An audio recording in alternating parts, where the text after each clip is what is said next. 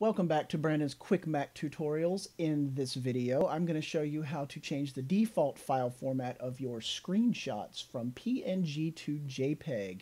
And since JPEG is the kind of the industry standard, I would rather have that as my default file format.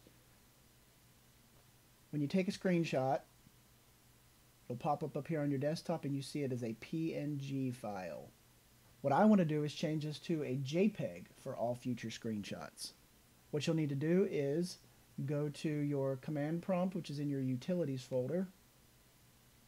You are going to copy and paste this command, which I have down here, and I will put in the comments section of this video. You're going to copy that, paste it into your command prompt, and now when I take a screenshot,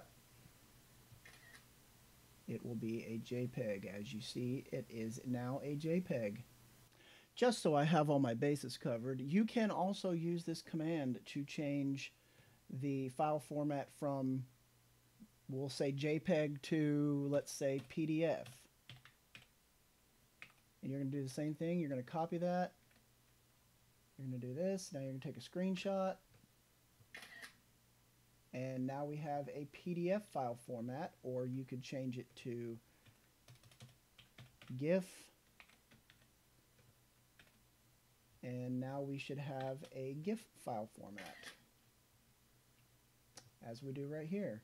Any file format you want it to be, just type it in right here in this command, and then copy it, and paste it, and any screenshot you take from there on out until you change it will be that file format.